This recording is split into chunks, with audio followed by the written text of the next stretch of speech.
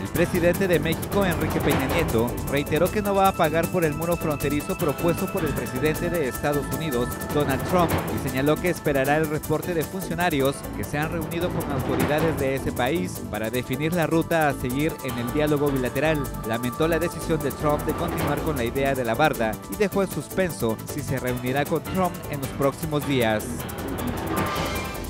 La posible cancelación de la reunión entre los presidentes de México y Estados Unidos, Enrique Peña Nieto y Donald Trump, el próximo 31 de enero, generaría una mayor incertidumbre en los mercados financieros, advirtió este jueves el titular de la Secretaría de Hacienda y Crédito Público, José Antonio Mit Curibreña. Dijo que el peso y la Bolsa de México han sufrido fuertes pérdidas por la incertidumbre de las nuevas políticas proteccionistas del gobierno de Estados Unidos, el principal socio comercial de México, lamentó Mitch.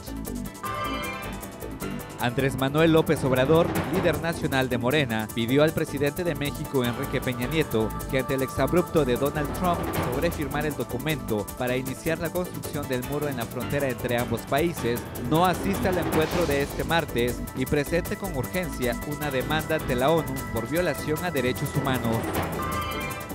Expertos mexicanos y de Estados Unidos desarrollaron la primera prueba genética en el mundo capaz de detectar el riesgo de padecer diabetes tipo 2 tan solo con una muestra de ADN que se toma en la boca. El método se llama Fatia Biomarpa. El principal objetivo es detectar si una persona es propensa a desarrollar diabetes e indicar medidas para evitarla, ya que en México es la segunda causa de muerte.